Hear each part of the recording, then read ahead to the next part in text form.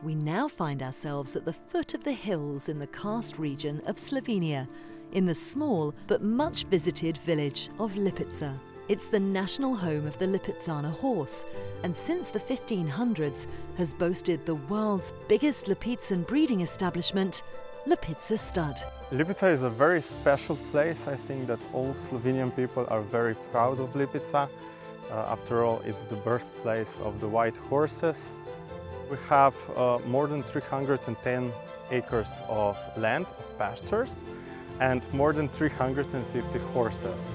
So we are very proud that this year we have uh, 29 new members, yeah, 29 uh, new foals.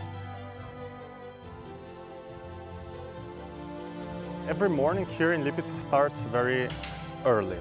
So the work of our um, employees start around 6 a.m. They have to clean the stables, they have to prepare the food. And at around 9.30 every morning, we release the herd to the pastures. We have different pastures for different herds, and I think that this is one of the most amazing things to see.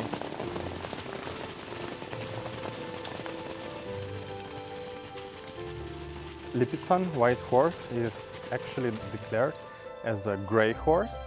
And this is because when the horses are born, the small foals are of the color black or gray. And only after four up to eight years, they start losing their color and they become whiter and whiter. So when the foal is born, he stays with his mother from uh, six months up to nine months. Uh, it depends on when he's born. And then before the winter begins, he leaves the home and he starts his social life. And for the next four years, he's socializing with other horses. And after four years, the Lipizzan horse uh, comes back to Lipica, where he starts his official training.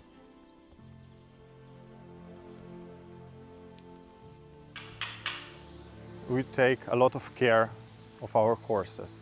We have a lot of people who work here, groomers, veterinarians, riders, uh, people who work in stables, people who clean the grass. Uh, and it's a very tough job because this is not a classical job when you start Monday and finish Friday, but because we're working with horses, uh, the work never stops and uh, most of the, our job is done traditionally.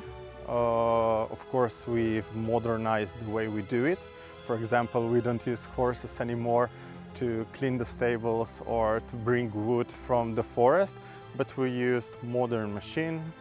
Uh, otherwise, we are trying to stay as traditional as possible. We have quite a lot of good riders. Uh, we are very proud of them basically it's their job to train all day and to train the next generation.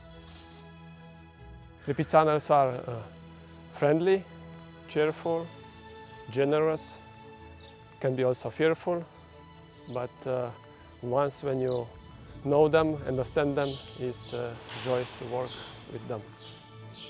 So right now we are in Hof, the oldest stable here in Lipica the staple is more than 300 years old.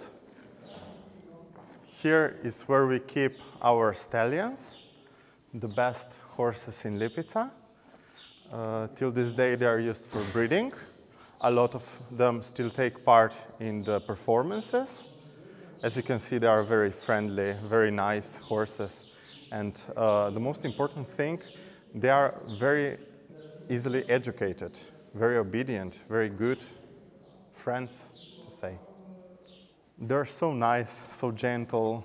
I mean, it's, it's a good thing uh, to come here and just relax and talk with them.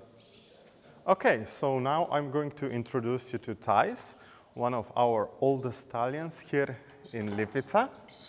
He's actually 25 years old, still very active, even sometimes in the performances. As you can see, he's eating right now, but he's always so happy to come, say hello, Hi, Thais. Hey. The relationship between the riders and the horses is important because uh, each rider has five to six horses to work per day and uh, they differ according to their abilities and uh, each horse has his uh, own personality different char characteristics physical and uh, psychological characteristics. And uh, important is for us riders and trainers that we adapt to this and train them according to his abilities for many, the highlight of their stud visit is an invitation to watch performances played out by the Classical Riding School, a chance for both horses and handlers to showcase their extraordinary skills. They differ according to their abilities. Some have qualities to perform the most demanding elements of high classic school, like uh, piaffe, passage, flying changes, terry stride, pirouettes and canter, and others have qualities to perform uh, school above the ground. Young stallions will present basic elements which are known for classical school and young horses, such as riding straight on the circle and changing direction. And important is that in the first two years of, of training, horses do correctly these basic elements, that they develop mentally and physically uh, for the next phase where they started to learn more difficult elements such as lateral movements. In second session we see long reins, where the horse is performing the most demanding uh, high school elements, such as piaffe, passage, uh, flying changes at every stride, pirouettes and canter, and all the lateral movements. And the uh, rider is not riding, but uh, walking behind the horse. And uh, that horse is able to perform all these difficult elements just by the help of the rider sweep and the long reins there must be good uh, connection, trust and the relationship between the horse and the rider. In session three, we see four horses and four riders that are performing uh, classical elements such as uh, shoulder in, half pass and flying changes.